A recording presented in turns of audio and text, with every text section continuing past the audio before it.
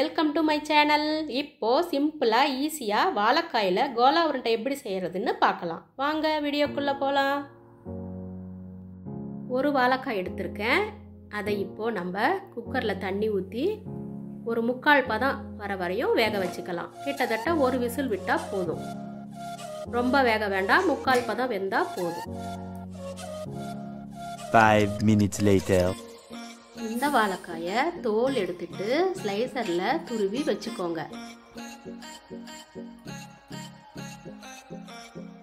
பாருங்க கரெக்டாக வெந்துடுச்சு. துருவி வச்சுக்கோங்க. இஞ்சி பூண்டு சின்ன வெங்காயம் வரமிளகாய் பொட்டுக்கல்ல தேங்காய் சோம்பு கசகசா பட்டை லவங்கம்.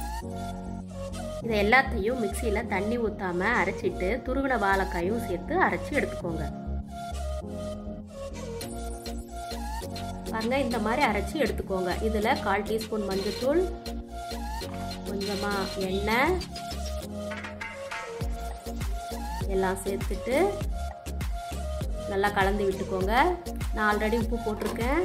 பத்தலைன்னா நீங்கள் போட்டுக்கலாம்.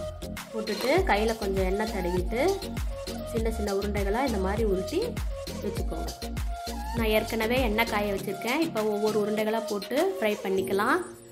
லோ ஃப்ளேம்லேயே வேகட்டும். அப்போ தான் உள்ளெல்லாம் வேகும். இல்லைன்னா வேகாது. மேலே மட்டும்தான் வேகும்.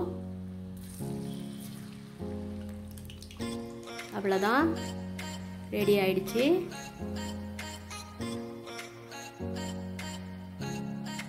சூப்பரான டேஸ்டான வாழைக்காய் கோலா உருண்டை ரெடி வாங்க சுவைக்கலாம். நீங்களும் உங்கள் வீட்டில் ட்ரை பண்ணிவிட்டு எப்படி இருக்குன்னு கமெண்ட் பாக்ஸில் கமெண்ட் பண்ணுங்கள் தேங்க்யூ